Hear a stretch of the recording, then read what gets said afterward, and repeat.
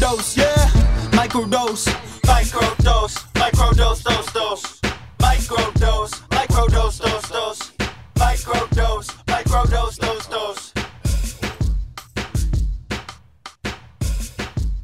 What's good, y'all? Kush Hayes here, coming to you, old friend of the family, pro wrestling Hall of Famer, and the man responsible for giving the Barbie movie its Klingon dialogue. Jaimel Hemphill. Kapla. What is up, everybody? Uh, so happy to be back. The MCU. There's a seem to be getting a, a deficit in our returns here. Yeah. Like, uh, you know, there was a time you could count on Marvel television, maybe not even television wise, but cinematically, you'd be like, yeah, that's probably going to be a good movie. And you're like, you know, one or two bum bum things, one thing that didn't live up to the hype. You know, Ant Man. Sorry, talking to you. All three movies, but uh, you know, yeah. Like, I, here's the thing. I am 33% in agreement. With, I'm gonna do some Scott Steiner math here. Uh, I'm, I'm 33 and a third percent agreeing with you. See, normally when you got a Marvel movie, you know, there's two stars. So you got a 50% chance of liking it. But any what I'm saying is uh I thought the first two Ant-Man movies were fine. They didn't they didn't first one's down. very cute. Yeah, First it's one's just very cute. it's they're both low stakes, you know, Yes. just whatever. I liked that Ant-Man 2 played with not having a bad guy, it simply had an antagonist, which I thought was Mhm. cool and unique for for the Marvel universe. Mhm. Um third one. The third one is the reason I think part of the Marvel like the the the people sounding the death knell for Marvel. First off, they're wrong. Marvel's going to be just fine. They're just going to continue to make movies and everything's going to be fine. But um I will say this. Part of the reason is that Marvel tried something different and the audience wasn't sophisticated enough for it. Ooh. The fact of the matter is that the major villain of Phase 4 was grief and no one was willing to buy that. oh, I don't even think that was brought to anyone's attention. Yeah, I mean, no one it- said it, but it is. It's Mhm. about the fallout from the first three phases. It's everyone suffering and dealing with this new paradigm and the PTSD that each of the characters have. Like you've got Hawkeye recovering, you've got Mhm. Scarlet Witch and depression and dealing with that. You've got characters that are like you're missing the the rudder, which is you know everything revolved around Iron Man for good or better. Mhm. Everything or good or worse, excuse me. Everything revolved around Iron Man. He's dead. Captain America's gone. Uh, you know, Thor's in Thor's recovering from his PTSD and depression. So it's up to these new heroes to step up and everything. And you've got a new generation of heroes who now exist in a world that already had heroes and and all the repercussions of that we're in. And and you've got people dealing with the repercussions of this universe altering event. Mhm. Right? They didn't they didn't save the world. They brought the world back, but they didn't save anything. Right? No, Like like you Mhm. had the blip, people died, people dealt with it for five years, and then you brought it Mhm. back, and that created chaos because Iron Man had a daughter. Right. like, we really think Dads and about their it. daughters. That that's Dads and their that's daughters. that was the one reason. I get it as a dad myself. I get it, but let's be honest. It was it was it was you know the world still screwed up because Iron Man had a daughter. that's that's Mhm. the re- right. And so that's grief and PTSD is is the villain of Phase 4 Mhm. And then they finally give us a new bad in Phase Five, and uh, they ruined his debut, like flat out. Oh. Like he How'd that happen? Well, Ant-Man, Ant-Man Quantumania. Like okay. Kang, Thanos is my personal favorite villain as a child. Like, uh, you know, that's like my nostalgia. You know, 11, 12, 13 years old, those Jim Starlin Silver Surfer comics leading into the first Infinity Gauntlet series. You know, my preteen years, that is, you know, that that's that's my stuff. So I love Thanos. But uh Kang, I mean, like as from a writing standpoint and from a fan standpoint, he's way more deadly than Thanos. He's way more of a bigger bad than Thanos, and you had him lose to Ant-Man. Like you, you brought in the like the, the whole thing about Kang is you have all these variants and whatnot. So you had He Who Remains and all that, but you brought in the comic accurate version of Ant, of Kang, and you had him lose to Ant-Man. He's not a threat. No one no one cares now, and I think that's the like. It was already going to be tough because Thanos was a a um a seismic shift in in the in the movie going fandom, right? He was their first big Mhm. bad.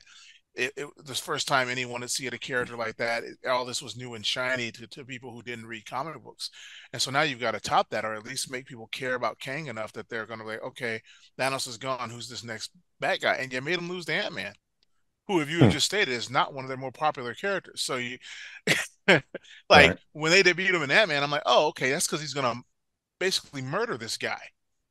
Mm-hmm. Like, like I was like, okay, you're debating, you're you're debuting him in Ant Man, so he can do to Ant Man what Thanos did in the first five minutes of uh, Infinity War.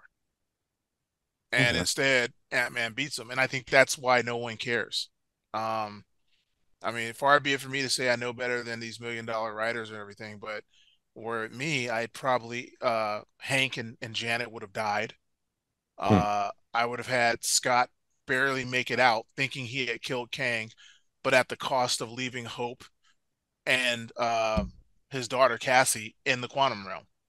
Mm-hmm. I would have Scott barely making it home, suits tore up, nothing's working.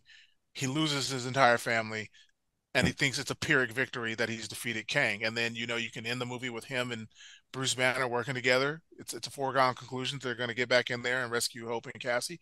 Cool. And maybe you have a, a, a side of like you know well you know, look, you did what you had to do. I know you miss him. I know you're crazy, but you know, it sounds like you had to stop this guy. Then you cut to that end scene where you show up, then you show a broken and battered Kang who's not dead, saying, you know, they stopped me, but we've got time. We time is all we have, and then you zoom out to show all the Kangs.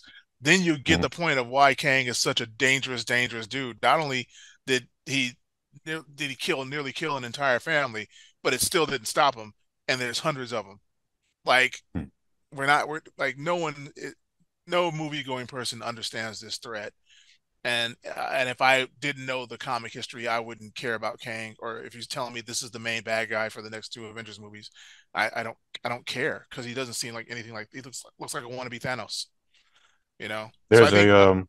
I think that's oh, what's going on. I'm sorry, I was just trying to sum it up so I could stop talking for you, but it seems like that's what's going on. I think the movie going audience just isn't as enamored uh, with this, and I think they kind of they kind of went for a softer tone and and four and took a, took a big breather before they went directly into another big multi-arc story. And I get that, and I think the audience just wasn't receptive to it. Maybe they didn't understand that was what was going on. And, you know, you, you explore different concepts and tried to um, look at different aspects of this world they've created, and and then look at the repercussion of the people for the people left behind. And um, I don't think they made that apparent and but uh, anyway, I am not sure that the audience wanted to see that, okay. even though it's necessary Good. for a storytelling perspective. But yeah, I'm I've pretty much resigned from all the Disney Plus shows. Like I, I mm-hmm. didn't hate Hawkeye; it was fine. Yeah, I liked yeah. She Hulk. You know, it, it, it at least had a different ending than the rest of the Marvel series has have. I thought Miss yes. Marvel was very charming and cute.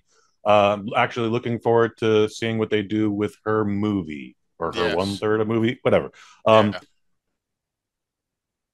There's currently a set of well, actually, there's only one strike happening right now, and that's with the actors. But if that wasn't happening, uh, Jonathan Majors himself is going through some litigation. I believe he's facing some jail time. That's not he is going, where I'm going with going this. through some things. Yeah, yeah. Is he even in the new season of Loki? Because I, I saw Loki one, I was like, I I don't care.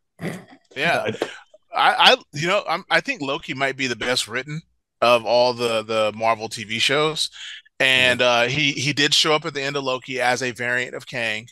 Uh, mm-hmm. Just just for those who don't know, Kang is a time traveler who may or may not be the grandson of Mister Fantastic. Uh, Reed oh. Richards, the leader of the Fantastic Four. Um, his modus operandi is that he travels through time, goes to the far future, grabs technology, and then uses it to become a villain in the past. He's like a reverse Booster Gold. Um, the problem with him is that he's so proficient at time travel that when you beat him, he simply goes back farther, adopts another identity, and tries again. So when you watch Quantumania and you see one that looks like a, a, centurion, he's from the future. You see one that looks like a, a pharaoh, he's from the past. Like so, the thing is, you never know. Kang will sometimes show up even as other villains. He's had like, and then you realize that this villain is kicking your butt. You know, you've never met him before. You don't know why he knows you. Turns out it's Kang in a disguise. Like he's he's he's the guy who says, "I have all the time I need, and if I don't beat you now, I'll beat you yesterday." So like he's uh, he's he's a really devastating dude. So at many many times you will meet a a person under a different guise and it's actually Kang. So he shows up in the end of Loki as He Who Remains, who is the guy who has basically caused some sort of cause, time, causal time loop to end up with him in control, which is the ultimate goal of Kang. He wants to control all of time and basically be emperor of the world forever, from the beginning of the universe to the end. That that's his goal, is to be the everlasting emperor of of our world. So uh, he who remains shows up, uh, and now he shows up in um, season two as another variant uh, called Victor Timely, who's an inventor. Uh, only he's like more of a uh, he's not a villain yet um, which is I thought was an interesting choice. But Loki's well written. I think another thing with these Marvel shows is that I've you've heard me say this is comics are a medium and not a genre. So that makes me hate the term comic book movie. Okay. Because when you get a movie based on a comic book, that doesn't mean you're necessarily going to get laser beams and superheroes. Like, for instance, Road to Perdition is a comic book movie by definition. Mm-hmm. Road to Perdition was a comic book, got turned right. into a movie. Like that's not superheroes. Uh, a History of Violence with Viggo Mortensen. That is a mm-hmm. comic mm-hmm. book movie. Uh, and but then again, so is uh, V for Vendetta and uh, Watchmen and Sin City.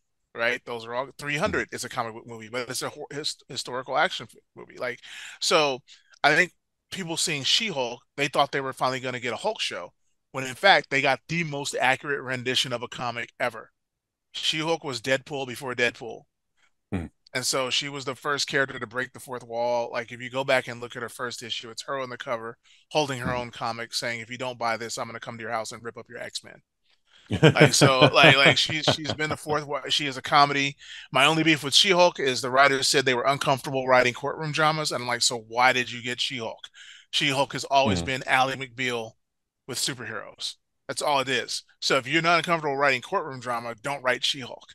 Um, I wish we could have got more courtroom stuff. That was the only thing that, that it was, was weird. Missing. Yeah, like it, it's been. I get that you had the girl in the town dealing with her powers, but even when you do that, She-Hulk's a lawyer. That's that's her. That's her thing. She she's in control of her powers. She doesn't have to do superheroics. She was a lawyer before she got her, the blood transfusion. In the books, it's a blood transfusion and not an accident and yeah. she decides to stay a lawyer. She just loves being giant and green as well, you know. But hmm. she she's a lawyer. That's that's all she does. Every once in a while, she'll do some superhero stuff, but she is a lawyer. And so uh, I think that people weren't ready for a sitcom. You know, they, they hmm. you, you everybody's been wanting Hulk to to get his own movie, and they thought with She Hulk they were finally going to get that show or movie that they thought they were going to get with Mark Ruffalo's Hulk. But instead, you got the sitcom, which is what She Hulk is. She's completely, totally different than Hulk. So I think I think it's just expectations and um, you know people discovering or having preconceived notions of what these characters are and what this what this uh, medium is. And then when you see these adaptations, you know you, you go on these preconceived notions and you're a little you're a little disappointed because we're, we've we've tried all the typical superheroes now you had your Captain America and your Iron Man and your Hulk and your, your Black Panther and all that. Those are superheroes, but Marvel actually does other genres. They just happen to have capes in them. So, um, you know, I, I think that's what it is. The, the, the, the, also the, the shows, I think, um, they need to stop. I think they've said they're going to stop doing this, stop trying to make them, uh, really long movies and yeah. actually make them episodic television. I think that will, uh, result in better quality content too. So it's it's funny that you mentioned that because like when I, I sent you sent you a personal text review of the Eternals, yeah. I was like, yeah, it's it's two and a half hours, but you know, like it, I understood every minute of it, but I also like probably would have turned this into a TV show because there's yes. ten people. Like I would like to know all about all ten of these people. Yeah. Whereas like Captain America and the Winter Soldier, or uh, uh, uh, anyway, Falcon and the Winter Soldier, was like, yeah, hmm, instead of six hours of that, maybe maybe we could have had a two hour movie of that instead. Yeah. Like maybe condense it. it. It goes one way or the other always. Yeah, uh, yeah. Baffling. I, I think uh, that was crippled by the um by COVID. I know they changed okay. a little bit of it, so maybe that affected it. Oh. But yeah, I would have I would have loved to seen just a straight up action movie with Falcon and Winter Soldier working working together. Um, You know, I, I like the messages. I like that Falcon can't get a bank loan. He was like, hey, I- I, Yeah. saved the world, saved the world like Yeah. six times already. yeah, I'm good for it. Trust me, can't I'm have good it. for it. but you can you can take No. a picture with me though. Uh. yeah. Oh. yeah. I um I, I officially tapped out on all the D plus shows when Yeah. Secret Invasion came in, and I watched two episodes and went, "This is boring as fuck." And Yeah. then I I would check like the Wikipedia once the show was written. I was like, "Wait, they ended it like that? Oh, that's the stupidest fucking thing I've ever heard." Like, wh- wh- where did they go wrong? Uh, they completely. I think what's happening is like there. There's actually was a quote that sums up the problem with a lot of shows. I think the more, I think the more of this content that you make, you start getting people who want it as a job and not as a passion, and maybe don't don't don't like the source material as much. Um, there was recently a quote from the showrunner for the Echo show, and she's like, "Oh yeah, we're not doing her lame powers and costume from the comic, you know." And it's like it was just. Here's the thing: on one hand, you're kind of right, right? Like like the the the, Mhm. the characters' powers aren't visually exciting, so if you want to get, okay, I get it. You already did that for Miss Marvel, I get it. You know, because if you did Miss Marvel like the comic, it would just look like Mr. Fantastic, and you're already gonna have Mr. Fantastic, so okay. Um, and her costume, yeah, it's kind of boring. And since you have an indigenous actress and the character is going to be indigenous, you spice up the costume and make an indigenous style costume. Cool, I get it, Mm. but it's still the disdain for the source material. Mm. And I think what's happening is you're getting a lot of people who don't care about the source material. And I think with Feige himself and the Russo brothers, you could tell they really, really loved the source material Mhm. they were able to take what worked, the gist of the character, the ideas of the character, especially for Captain America, and then make a modern set piece, you know, without lean without going into cheese, you know? Like Mhm. and like like they did a better Superman movie than Zack Snyder. Like Captain America is still Superman. He's a big old Boy Scout. Mhm. And you and like you you put him in a really dark situation and so that so that he can shine brighter. He doesn't compromise his morals. He doesn't become. He doesn't go snapping necks. Or, well, Captain America does snap necks, but he's a soldier. When he has to. he's a soldier. But but the point is, like he didn't. He doesn't succumb to the darkness. It's it's he's you put him in really dark situations as a contrast, right? And so they really understood, and and all the characters they they got down to the nitty gritty of what made these characters great, the archetypes of the characters, looking at these 60, 70, sometimes 80 years of stories and they take the archetype and they bring it forward and, and they put a pretty good spin on it. But then sometimes you get stuff where it throws it back to early 2000s where they're simply ashamed that they're making something that's based on a comic. You Hmm. know, it, it's that it's that uh what was it? Was it X-Men 1 where it was like Wolverine goes, "Is this what you wear?" and then Cyclops goes, Right. "What do you expect? Blue and yellow spandex?" Like they they they go out of their way to insult stuff. Um and the same thing happens with some of these shows, not the movies, but the shows especially. Um, I think you and I have talked about how angry I was at Jessica Jones season two with Hellcat. They did they they went out of their way to insult the Hellcat uniform. Oh, And-. That, was um that was uh, Darcy or uh, Yeah. uh, the Uh, friend with the radio show. yes, yeah. Yeah. Um, and it's so disrespectful because that's Marvel's first superhero. Hmm. Uh, even more so than than Captain America because uh, Hellcat, um, the It's Patsy thing is based on her comic where Patsy. she was she was a uh, a romance comic before Marvel did superheroes. So that Hellcat character was a uh, it's she was Patsy Walker, like it was a romance comic. And then after they started making superheroes, they brought her back and they retconned the comic as saying that was her TV show as a child star. And Hmm. so, and they made this character. I'm like, yo, that's a really cool part of, of history and everything. And those those those Netflix shows were so ashamed of what their source material was. I mean, you took a you took an entire season to get Daredevil in his costume, and then you immediately take him back out of it. You know, and then you you like uh same with uh Jessica Jones. What's funny is Jessica Jones season one is probably hailed it's probably the best season of the Netflix shows. And that's a straight up adaptation of Jessica Jones's comic. And then once they got to season two, they were out of source material and it went off the rails.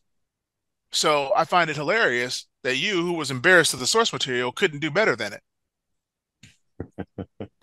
you know, I find that pretty funny. And so I think that's what's happening with some of these shows. I think uh, with Secret Invasion specifically, to go back to the question, mm. is they completely threw the story out of they completely threw it out, and and also maybe it was an edict from the producers not to take any risks. I mean, here you had a chance to press a reset button on a lot of things. Like the the idea of, of, of the comic was that you literally had characters that had been around from the jump for years that had been Skrulls and you didn't know and all we got was Rhodey. That's it. Like, come on. Like, like, I mean, in the comics, they had a character that died in like the 80s or something that faked to death in the 80s. And then they said, oh, yeah, they got replaced way back when. And so it's this huge ramification because it was uh, Hawkeye's wife oh. had been dead for like 20 years. And they're like, oh, yeah, she's been a Skrull this whole time, you okay. know, you know, mm-hmm. or like, you know, things like that. What if, what if Pepper Potts had been a Skrull since before she married uh Iron Man or something. That would be mm. amazing. You know, like that that's what I was looking for. I was looking for, you know, Iron Man to be a Skrull. I was looking for, you know, I don't know, someone who died, like, you know, maybe even like Gamora or something, having been a Skrull, but truly believed in stopping Thanos. Right? Like something like mm. that. They, they, they should have been it should have been life altering. Um you know, the, the only I think if you go watch the last episode, it gets really good where you see the paranoia actually take hold because the populace is aware of these Skrulls now that anyone could be them and blah blah blah and you see the paranoia take hold and like for about 30 minutes it's really good yeah. it's really really good and like if they could have if that could have been the five episodes preceding yeah. would have been the best show they put out so far but um, that was a shame the other five hours couldn't have been good yeah it was it was and then and then of course they go to a um superhero blowout, uh, you know, where Emilia Clarke gets to shine, but it's the same special effects extravaganza that we've seen the whole time. Whereas this is supposed to be a cold-hearted spy thriller. It probably should have ended with, with a gun to the back of the head or something. Like you know, it right. should have been a it should have been a low stakes, grounded battle, not not this special effects frenzy. Um, it just didn't know what it wanted to be, and and I think it. Uh, I, I I mean I don't know what to say where it went wrong. I just know that it seems like every choice wasn't the one that worked well for the show. I want to get into Echo in a second here, but I want to go back to something you said earlier with you know respect to the source material. Like, I, I there's no way to do this stuff now without modernizing it a bit. Like mm-hmm. Wolverine can wear his yellow spandex now in Deadpool three. That'll make sense in Deadpool three, but when Wolverine's like a mercenary and killing fools in the jungle in the dark it works in the comic book, but the man's going to stand out in yellow, and sure, he's invulnerable and you oh, get yeah. shot, but you know yeah. that, that that's not going to work. However, oh yeah, yeah, I, I it, agree. Um, do you think it's do you think it's just a generational thing, like the just the the kids today? And I mean, yeah, compared to us, they're kids, but you know, they're all twenties yeah. and thirties. Um, are they trying to hold their job, or are they going like, no, we can't have her looking like Patsy. I got to have her look like the chick from Sex in the City or, or whatever, you know, yeah. like it, or is it just disdain for that? Like, you know, um, what is it? Uh, again, under the Disney umbrella, there's a new Snow White coming out with uh, Rachel Zegler, who is a little mm. darker than Snow White. I really don't yeah. give a shit. Also, her last yeah. name is Zegler, so she's German. There's German yeah. in there, so she's. I'm okay with it. Like, but then I I hear her like doing press stuff, and she's like, "Yeah, this Snow White's gonna be. She wants to be a leader and and and a yeah. and a rebel." And I was like, "What? What? Bitch, have you yeah. read Snow White? Like, have you seen it? It's a child. She's a child. We ran away from home and got poisoned. Like, it's kind of a scary I, story." I, I I don't know. Like, I think um, I think for I think for a while there with comics I think everybody read Dark Knight and Watchmen, uh, Dark Knight Returns and Watchmen and Miracleman, and they mm-hmm. thought that's what comics were supposed to be, as opposed to a deconstruction, right? Mm-hmm. Like it was like it's like watching. I don't know. I don't know what to say, how to say it, but it's it's it's like watching something that's that's designed to be a derivative or you know it's supposed to be a dark story, but that's not how all comics are supposed to be. That's why they're good. They're a detour. They're mm-hmm. they're you know, and and people read that and they think like Zack Snyder. I mean, if you if you read Dark Knight Returns and you look at Watchmen, you're like, when I at first I thought, oh, he really understands comics. He's perfect for Superman. Then I realized, no, he just really liked Watchmen. He thinks everything should be like Watchmen. Mhm. Like, he didn't understand that that was a deconstruction and not what comics were actually supposed to be. So I think that's what a lot of people they needed dark and they needed to be realistic. Look, you're talking about people with shoots laser beam from their eyes and has metal on their skeleton and claws that pop out. It's not real. It doesn't have to be real. You know, It- it- I mean, it's just like any fiction. It needs to obey its own rules, but it doesn't need to obey ours in the real world, right? And I, I agree with with Wolverine, but you know, when Wolverine was in the comics, when he was undercover, he there was a joke. He called himself Patch. His entire disguise was just an eye patch. Hmm. He was still Wolverine, had the weird hair, just Yeah. wearing a shirt and some jeans, and he put an eye patch on. And he told call over here, call me Patch, and that was his that was his big disguise, right? Like it was a running joke. Like really, you just put on? Yeah, no one knows it's me. I just put on this eye patch, and everyone falls for it, right? like Clark Kent in the glasses. yeah you know? just accept it man just accept that that you know that that's how it works but um i think i think when you're in a in a in a flying jet going to fight a guy who calls himself magneto wearing a Mhm. bright red suit it's okay for you to wear like it, x-men makes more strength than anyone else because they go they're going to a school and those blue and yellow blue and gold suits are their school uniforms. Right. literally. I mean you Yeah. could you, I, I mean you because you don't want to look at it in real life. I mean because otherwise professor x is like the Kony of comic books. Like he's drafting child soldiers and sending them out to fight. It's not a good look if you actually think about it right? He's like he's turned these kids into a war machine and is setting them loose on the world. It's not a good look but in the rules of the comic books yeah they have a cool school uniform which also happens to be a battle suit that protects them from harm and allows them to use their powers without destroying whatever they're wearing right? Um and so yeah blue and blue and yellow suits it doesn't have to be spandex.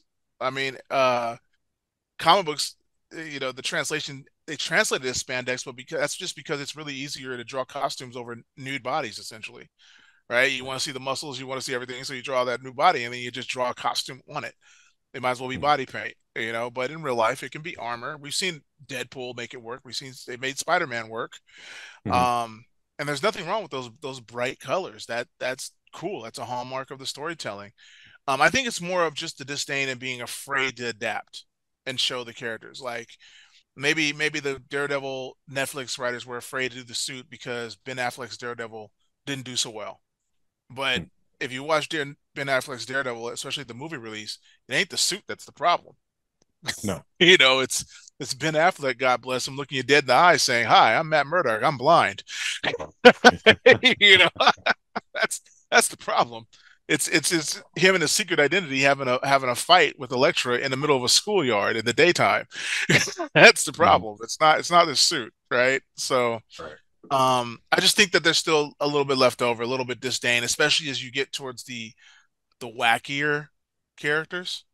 Mhm. But it's like, come on, man. Ten years ago, James Gunn got you hyped for a raccoon and a talking tree. I, I think that should Mhm. be once that's done, there's really no idea that you can look at and say, okay, this can't work. We can't tell this story or make the public care. Like, I don't know. Uh, When I saw when I saw Guardians of the Galaxy, I was like, okay, that's the first flop. No one's watching that. No Hmm. one is like, I'll be in there alone. Because even I wasn't like I read every comic in the world. You know, two comics I didn't read: Guardians of the Galaxy and Avengers.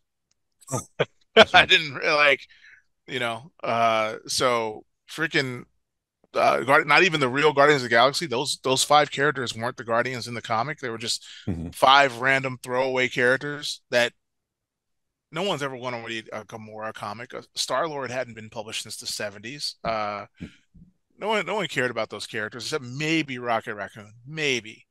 But um, the fact that James Gunn took them and made them a global franchise no one should be afraid to lean heavy into the the the, the weirdness or the campiness of any character. That first one is magic too, man. Like I saw that thing Yeah. four times in the theater, Yeah, and then the the other the, the last two, like uh, the first one's fun. Excuse me, the second one is fine, but finally we get to the fireworks and all, all that shit. Then I was like, this is Yeah. beautiful, guys. But this movie ended twenty minutes ago. Come on, I got Yeah. I got a bus to catch. You know. um, let's get back to Echo here, and uh, yeah, so Hawkeye came out, and I was like, yeah, it's all right. I don't get the hate, but it's all right. It's a little Christmas thing, you know. It's, it's fine. I, I don't know why he's not taking care of his friend Scarlet Witch, who's dealing with her trauma, but eh, whatever. Um, Echo came out, and everyone seemed to have a problem with Echo, and I'd never heard of her before that. And I was just like, right. she's a comic book character. Uh, okay, Yeah. I guess. Um, everyone poo-pooed the character so hard, but then this past weekend, the trailer for the new Echo series came out, and everyone's like, "Oh, Marvel has my attention again. This actually looks really good. Well, it's TVMA. Well, that means it's going to be real bloody, like Netflix style bloody." And I'm like, "You guys forgive and forget really quickly when you want to. It's Yeah, I think I think as with any fandom, you got a small subset of the fandom that is incredibly loud, yeah, you know, and so um and I and also like as Marvel like let's just let's just call the the elephant in the room here. break it down." Things have to be more diverse. All right, like more and more diverse type of people are reading comic books and watching these movies, and you have to let those people be seen on screen. Uh, Sure. as a matter of fact, comics are a female dominated dominated medium right now. There are more female readers than male readers. Okay. So like, and Marvel, places like Marvel and DC are kind of stuck in between a rock and a hard place. Um, one, now that creator-owned comics like NPC and Image uh, run the day, you have a lot of people who maybe don't want to use their best ideas while they're under contract at Marvel or DC right? I They're not that. like if you've got a if you've got a IP that you're coming up with that you think could be an actual franchise, you're not just going to do it as a work for hire for Marvel or DC or, or excuse me, Disney or Warner Brothers. Really, is what you're Mhm. doing. So, I mean, it, at that point, it's just like selling a script, right? You can write Silence of the Lambs, but when once you get it made by Miramax or Sony or whatever, they own the script, not you. And it's the Mhm. same thing with these these comic characters. So they need new IP, but the problem is these character these comic companies are old and they were created in a time. All their IP was created in a time in which, you know, there wasn't a lot of diversity behind the page or in front of it. So, Mhm. and then then you have your fans who are loyal to the brand and loyal to what you make, but they want things to stagnate. They don't necessarily, you know, that's why Peter Parker has n- never been married, right? He's the character's mm-hmm. been around for 60, 70 years now, and he still doesn't have a wife and a kid, right? Like he's mm. perpetually, you know, a teenager, or if you're lucky, a 20 year old. So, in order to make these characters grow, and you have to get the new readership, right? That's just capitalism too. They always want more money. So, to get in that new readership, but to keep your things, you, you keep Spider Man, but you find a black guy to put under the mask, or Afro Latino like Miles Morales. You keep Thor, but you have Jane Foster be Thor. So you you have the IP that you can still exploit because no one's giving you new characters, and then you but you diversify it so that you attract new new viewers. And so every once in a while, though, you get a character like Echo, who was created actually in 1999. Um, so she's been around for 24 years. Um, she's had different aliases, um, you know, and so you you can elevate them. You know, that's what's happening. Um, it should have happened with Captain Marvel. It's kind of funny Captain Marvel's in reverse because for the longest time, Monica Rambeau was Captain Marvel until about 15 years ago, and then Carol Danvers became Captain Marvel. Carol Danvers was actually Ms. Marvel. It's really weird, whole whole thing. Carol Carol Danvers was Ms. Marvel for about 50 years, and uh, Monica Rambeau was Captain Marvel from the 80s on. Cap uh, Monica Rambeau was actually the leader of the Avengers. It was really it's really crazy that they haven't used her to be the new leader of the Avengers because that's actually what happened when Captain America stepped down. Okay, whatever. Anyway, um, I'm saying I've as been a- where you, I've been there. as as Go a ahead. kid, as a kid, Captain Marvel, Monica Rambeau was my leader of the Avengers in the in the Avengers comics. Um, but nevertheless, Echo is is is not a new character. She just has never been used properly. Mhm. So you know, giving her this spotlight and this uh this thing is it's another Rocket Raccoon Groot situation where you take a character that hasn't been fully developed. Um, it's a character that doesn't have a lot of backstory. You actually get that with Jex- Jessica Jones too. Jessica Jones hasn't been published as much. She's actually a very, very recent character. I think she was created in 2002, 2001. So these characters don't have a lot of backlog. They don't have a lot of baggage. So you get to tell a story that you want. And if you want to upgrade them, you know, or or flip something to make it work better for the screen, you can do so without ticking off any fans. Um, the best example of this ever is actually Blade. Uh, Blade was trash. The worst character ever. No, didn't have a good look, didn't have a good backstory. The only thing I don't like that they got rid of when Wesley Snipes played him, probably because Wesley doesn't do this accent. Blade was British. I just wish they had kept him a Brit. Because if you kept the Blade movie, but Wesley Snipes using a British accent, I don't know why, but it would have been a lot cooler to me. it would, have been, fun. It would have been really cool. But uh, instead, they yeah. made some. They made yeah, bloodsucker, ain't you? Yeah, exactly. You're bloodsucker, ain't it? you know, uh, but uh, it would have been cool to see him, you know, cut people off. But they made him from Detroit, basically. So, uh, and that remade the character. The character got redesigned in the comic to match what they did in the movie. So you have a chance to do that with Echo. Um, and I, I don't know why people. I have no idea why someone would be ticked off in any way over the accuracy of an Echo show when I guarantee you none of those people own a single Echo comic book. One, because she's never had her own series. So right. I, I, mean, like, so like it's it's it's it's much ado about nothing. Um, mm-hmm. she's a grounded superhero. She's uh uh she's got a great revenge story. Uh, in the comics, her her father was killed by Kingpin. Um, I'm rooting for the actress because I think that's amazing that Echo's a deaf indigenous character. So they went and found a deaf indigenous person who never acted before oh and God. brought her on. And I think that's really cool. So I'm, I'm reading for rooting for her. Um, I think it's going to be super violent. I think it's going to be. I think it's debuting on Hulu as well, which tells you that they're yeah. doing it on the TV MA route. Mm-hmm. So, um, yeah, the, the I, actual trailer in the title cards, like for Disney Plus subscribers, change your parental settings if you want to watch this. It literally says yeah. that on the title card. Yeah. So yeah, it's it's going to be pretty pretty gruesome from what I understand.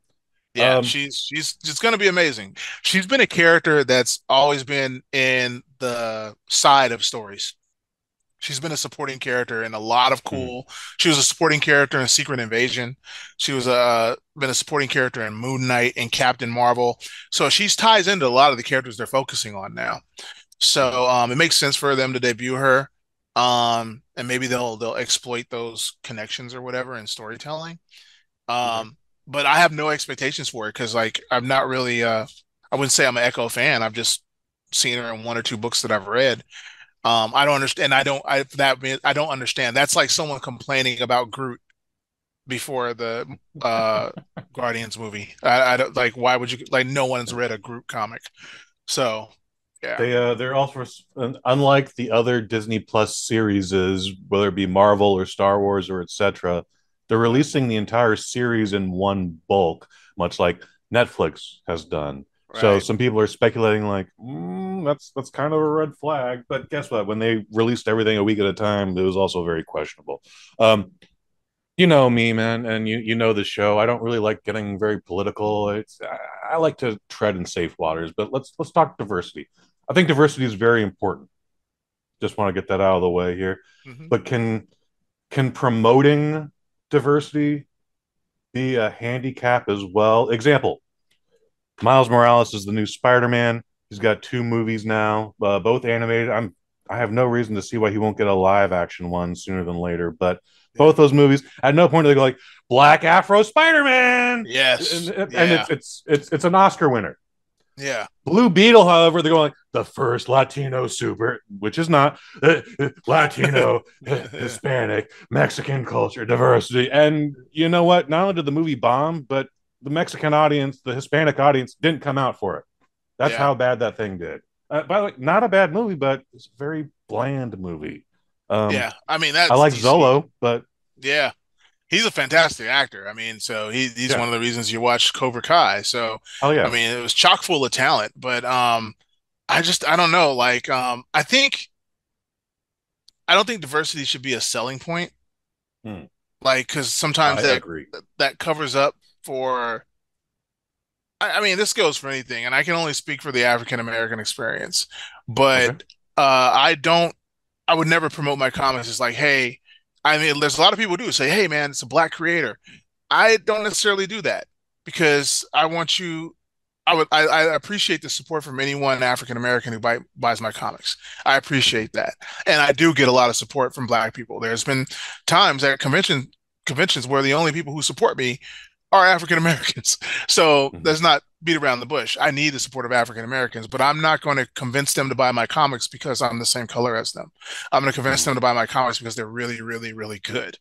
right? So I, I make really cool stories. At least I think so, and I hope you Mhm. think so too. And that's how I'm going to sell it, you know. And so, sure, they may talk to me. They may be willing, more willing to stop by my table and actually communicate with me because I look like them. But in the end, I'm hoping they're buying it because they like it, you know. And if it sucks, tell me because I want to do better for you.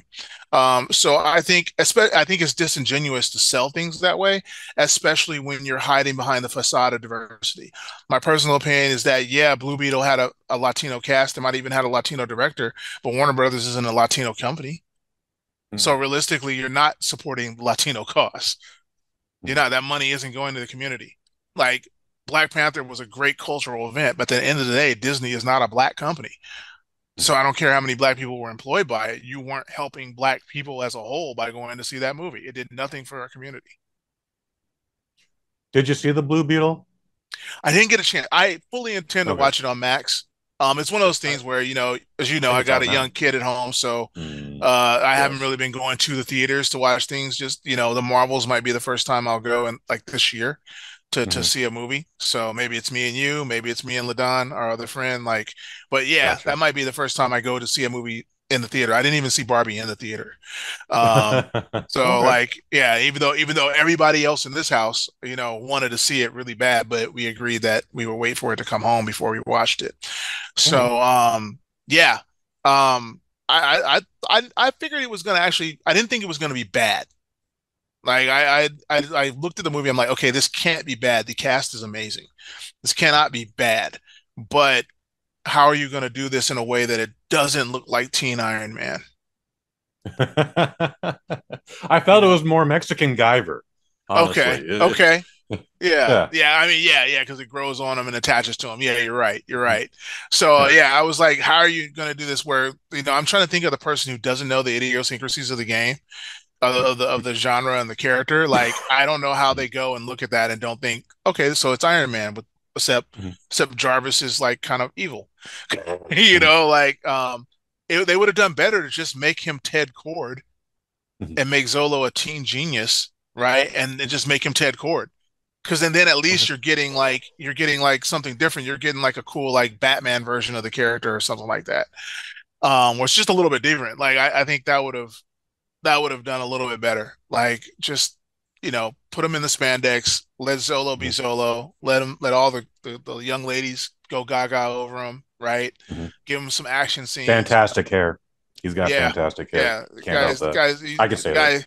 He's got, he's got, he's got. You're an expert on hair. Yes, sir. Uh, you know, he's he's got the uh, fantastic leading man looks. Just just put him, you know, let him work out and put him in the spandex. And I would have made him a teen Ted Kord. Just just Mhm. make him, you know. There's nothing about Ted Kord. I think also, can I point this out before I Please. stop talking? Um, when people get mad when they race swap certain characters, I just like to point out that by and large, when you look at characters that start out white, there's nothing about them that says they have to be white. Okay. Whereas a lot of times, until recently, characters of color, their race was intrinsically tied to their character. Black Panther, for instance, he has to be black because he's from a non-colonized city in Af- you know in Africa. Like he, he can't not be like. And people get mad at me when I say that, but I'm like, there are characters to go the other way, like Luke Cage. There's Mhm. nothing that says Luke Cage has to be black. Mhm. He's just a guy who's framed for a crime he didn't commit, and he submits to an experiment. I would watch a Luke Cage uh, show starring John Cena. You could tell that would be story. hilarious. He just wouldn't That go to Harlem. You know, he'd go to Manhattan. Like that's the only Although, thing. what if he was in Harlem? Now it's gentrified. Now what it's if he was in. Harlem? That would be hilarious. Yeah, that would be great. You know, um, the, John you know, Shaft, originally in the books, a white guy. And Yeah. then they were like, what if we got this handsome dude named Richard Roundtree? Rest in Exactly. Roundtree. Rest in peace. Yeah. So there's there's certain characters like there's nothing stopping Peter Parker. If if you made Peter Parker right now, he's a dude from Queens who's actually quite Mhm. smart and and gets bit by a spider on a on a on a group outing, right? So Mhm. there's nothing to stop him from being Peter Park, Korean dude from Queens, which would actually fit because Queens is mostly Asian now, right? So Yeah, so like yeah. like if you read if you made Spider Man right now with the same origin, he'd probably be a Korean dude or a Chinese dude. Like like and there's nothing you have to change about the story. Um, but then other characters, you know, it's always like like look at what they did to Falcon. Like he wasn't black enough, and then they made him a pimp, right? Like Well, what? I'm sorry. Oh out. yeah, yeah. At first, at first, Falcon was just a guy from the Air Force, but then the, once he started getting popular, they decided he wasn't uh, popular enough or black enough. So his backstory was given to him that he was originally Snap Wilson, a pimp from Harlem who straightened up and joined the Air Force because his original Wow. origin was not black enough. so Wow. yeah, Snap Wilson, the pimp. I'm I'm in disbelief there. Wow. That was Yeah. that's that's in the 70s, right? Yes, yes. Okay. No, all right. Yes. Now now it's coming back together. Yes. All right. We'll focus You back. know, All right. But even even in the '90s, you look at Blue Marvel. Um, Blue Marvel, created by Kevin Grevioux, uh, the guy who wrote the uh, Underworld movies or created the Underworld franchise. He made a character for Marvel. Blue Blue Marvel was awesome. He he tried to retcon a black character into the '60s version of Marvel, but then he had to explain why he wasn't seen until the 90s or 2000s when when he debuted him. And so the excuse was, well, he's a black guy and he was fighting crime and he wore a full body suit. And then one day his suit got ripped. They saw he was black. Everyone got scared, and the president asked him to retire to, so that the Oh, public wow. wouldn't be scared of him. And like, Wow. other than that, he's just a genius scientist who has an accident and gets powers. There's no reason Blue Marvel has to be black, but you gave him an origin which is intrinsically tied to his blackness, right? So like, it that that that's the difference between a lot of these characters. Like Echo is Mm. she's indigenous, but the animosity that America has for indigenous people is directly in her. Like her dad gets killed by Wilson Fisk because of some argument that is based on sovereign territory. So, Hmm. um, it's like you have a lot of characters that are intrinsically tied, like or Thunderbird. You can't change Thunderbird because he is part of a tribe and gets his powers from his heritage. Puma gets his powers from his heritage. So, um, you know, when you look at characters of color, it's often that um, their heritage or something plays directly in to their power set, their origin, their motives, their motive, everything. When Mhm. opposed to some of the uh, characters that are simply Caucasian, it's just Bruce Banner's a sci- scientist, you know. Reed Mhm. Richards, he's just a scientist. Peter Parker is just a kid. There's nothing about, you know, he like the thing does not get his powers from his Jewishness, right? like so, right? He doesn't. His rock hard thing is not from the Rock of Gibraltar, right? It's That would just be get- amazing though. yeah, like It so- should be now. He's covered in the Rock of Gibraltar, giving him super strength and invulnerability. By the power of Moses. exactly. Ah! That's that's his theme. That's his, that's his war cry. Uh, let me go back to Blue Beetle. I know Yeah. you said you didn't see it though. I did not. Um, the entire time I'm watching Blue Beetle, two thoughts are going through my head. So just to give you context here, um, it's a Mexican family. And again, as the trails, Mexican, Mexican, Mexican. And in fact, like uh, dad, dad has some powerful scenes with Xolo. By the way, like I, I, I dare you not to shed a tear during one of them. Won't spoil what it is. Uh, however, uh, you know, like you know, we're we're Mexican. We we we arise, we overcome. They put up a wall, we go around the wall. We go under the wall. like like they just every, every other scene is like we're Mexican. They're also in a DC fantasy city that's supposed to be Miami, Florida. And the entire time I'm like, please correct me if I'm in the wrong here, but my entire thought time I'm watching, I'm like, why aren't these people Cuban? They're in Florida. They're in Miami, Yeah. Florida. Why aren't they Puerto Rican? Why aren't they Dominican? Or if they have to be Mexican, why aren't they in Southern California? Why aren't they in Arizona? Why aren't they in Texas? Is that me? Or I mean, people are No. everywhere, man. People Yeah. are everywhere. Okay, but but at the whole time, like Hollywood and a movie, it's it's pretty simplified. But I'm confused the entire two hour run. I'm like, why are you guys there? What, As long as they didn't do that yellow sepia tone filter every time they showed their neighborhood, like they do when they go to Mexico. You ever no, notice? it's all neon. No, it's, it's- Okay. it's Miami color, so everything is okay. everything is neon, like 1980s. Which is also gross. So okay, so it's not me Yeah. then. Something's wrong with the writing. no, no, no. and- That that was Like it doesn't have to be Miami. Like, but you know, DC is different than Marvel in that uh, that's their kind of their hallmark. DC has made up cities where Stan Lee, uh, you know, when he got together with his artists and created the Marvel universe, it was supposed to be the world outside your window. So they right. used real stories and mostly in New York because that's where they were based. But uh, DC has always used the fictional cities, so that you have Metropolis, Gotham, Coast mm-hmm. City you know, even even in spinoff universes like uh the Milestone universe, they use Dakota, which is really just Detroit. You know, so hmm. it, yeah, Dakota is Detroit. Metropolis is obviously New York. Uh, Gotham was always supposed to be Chicago. People say New Jersey, but it, it's Chicago. Crime bosses, everyone's in gangs. It's it's Chicago in New Jersey. Yeah, but it's Chicago in the 30s because each okay. each each of the villains is a mob boss, right? You ever notice like Joker and them? They always have henchmen because they were their pattern on the on the on the you know the mob bosses. But yeah, could it could be Jersey too. But I always figured it was uh 1930s Chicago uh, that Batman showed up in. You know, um, but yeah, yeah, I don't know. I don't know. I'd have to I'd have to watch the movie to have any thoughts on that. But you would think yes, if you had a, a Latino family in Miami. Well, Latino is a very is is a broad spectrum. These folks are specifically Mexican. Yeah, that's what I'm saying. If you're gonna pick one of the Latino countries, you know, mm. Spanish speaking countries, it'd be Cuba and Miami. Whereas if you're doing if you want to specifically say they're Mexican, yeah, you think you go LA or you think you would go the West, somewhere in the West. If mm. you're gonna if you're gonna say they're specifically Mexican. Yeah. Yeah. I, yeah. yeah. It's just one of those things. You, you, you feel weird analyzing it, but then you're like, no, why isn't it this way? but again, I don't. I, I'm not the million dollar writer, so who knows? Yeah. Who knows what I know? Jaimel, dude, I appreciate you being on the show. I don't want to take up any more of your time, but uh, you want to promote anything regarding NPC Comics? Keep an eye out. We got some big announcements coming, but it's all going to be 2024. But definitely watch it. Watch out for 2024. NPC is going to have some big announcements. So check out our website, npccomics.com. You can buy some of our comics are out. We have a great hit comic named Scrap by Fred McKinstry. Uh, it's great for fans of MMA. It's a young lady who tops out traditional, traditional martial arts, tries out the world of MMA, and finds that some legends are more than just legends. It's an amazing story. Uh, check that out. Um, you can also check out High Park, uh, fresh off a successful Kickstarter this summer. We have a story of young Cassie Park who uh, finds her destiny in New York City as a college student. Um, really enjoyable slice of life slash superhero book. So look out for those and look out for more stuff in 2024 from NPC. That's what's up. Folks, I do some stuff around here.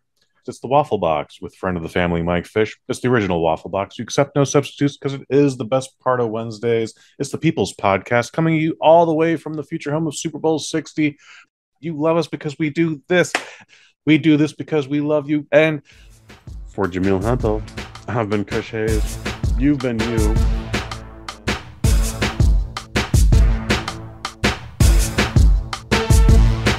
Micro dose, micro dose, micro dose, micro dose, micro dose, micro dose, micro dose,